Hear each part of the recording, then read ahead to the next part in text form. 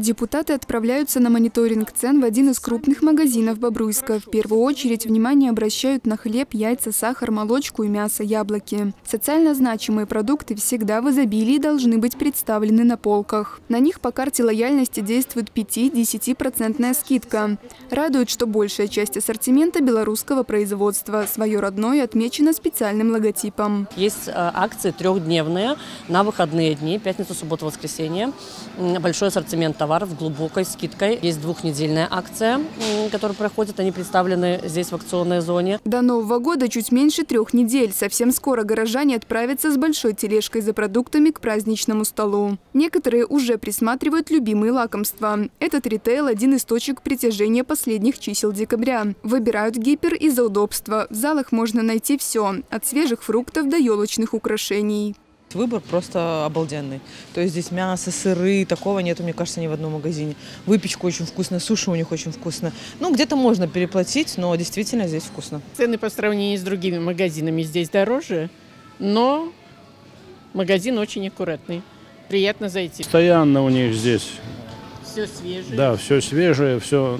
Мы, мы тут часто бываем, все вкусное, даже вот они готовят очень вкусно. Хороший магазин. Как этот магазин открылся, хожу только сюда.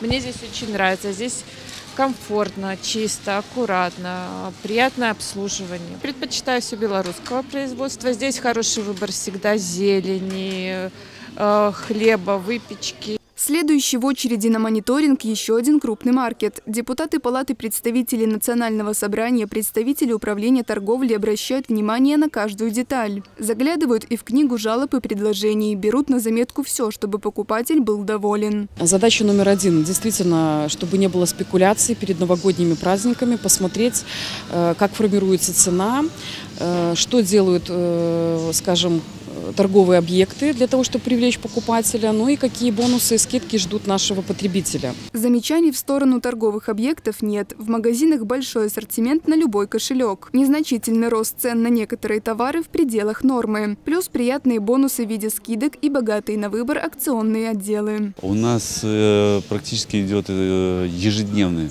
э, мониторинг, обследование объектов торговли.